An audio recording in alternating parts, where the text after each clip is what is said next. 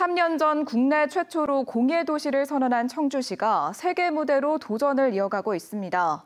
세계 공예 도시, 유네스코 창의 도시 선정이라는 두 가지 목표로 뛰고 있는데요.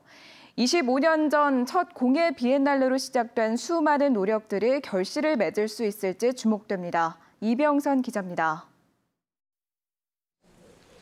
세계공예협회 WCC의 평가위원들이 청주의 한 공방을 찾았습니다. 흙 위에 자연을 담아낸 분청작이 항아리 같은 작품을 둘러보고 작가가 어떤 작업을 하는지도 살펴봅니다.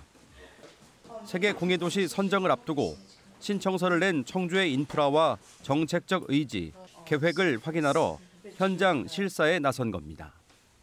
It comes at an exciting time because we see there are many new developments in a new craft centre, craft village, craft research centre. So it comes at a time of great promise for Cheongju, and we're happy to support that. 직지의 탄생지로 지난 25년간 공예 비엔날레를 열어온 대한민국 법정 문화 도시. 문화제조창과 한국공예관, 고인소의 박물관 등 공예에 진심을 담아온 청주가 세계 무대에 문을 두드리고 있습니다. 국내 최초의 세계 공예 도시 그리고 유네스코 창의 도시 가운데 공예 분야에 잇따라 도전장을 낸 겁니다. 여러 가지 분위기가 이제 무르익었기 때문에 더 세계로 뻗어나오는 어, 공예도시 청주를 계속 지향하고 육성해야 된다고 생각합니다. 목표는 세계 양대 권위를 획득해 글로벌 공예도시 청주의 브랜드를 세우는 것.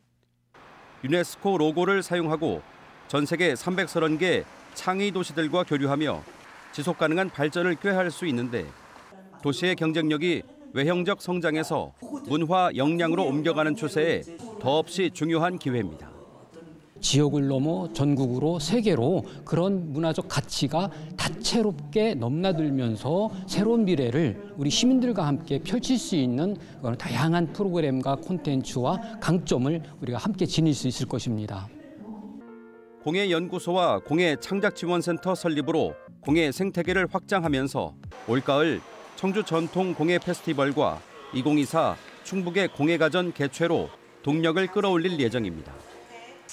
올 하반기 세계 공예도시 선정이라는 첫 단추를 잘 끼우면 내년 파리에서 발표될 유네스코 창의도시에도 긍정적인 영향을 줄 수 있을 것으로 청주시는 기대하고 있습니다. MBC 뉴스 이병선입니다.